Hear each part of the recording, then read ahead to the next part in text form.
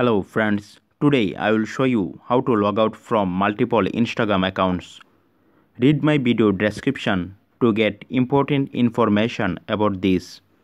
First you go to Instagram.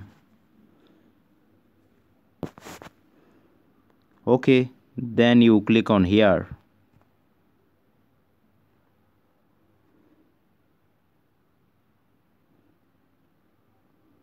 okay then you click on here.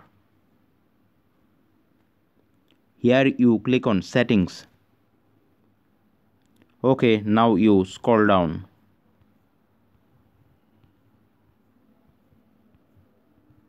Now here you see a option log out of all accounts. You click on this.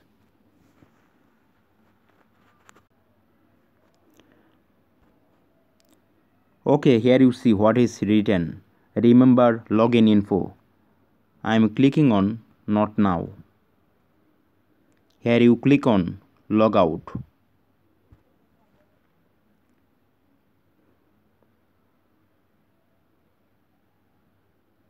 okay done. I hope by using this method you can log out from multiple Instagram accounts.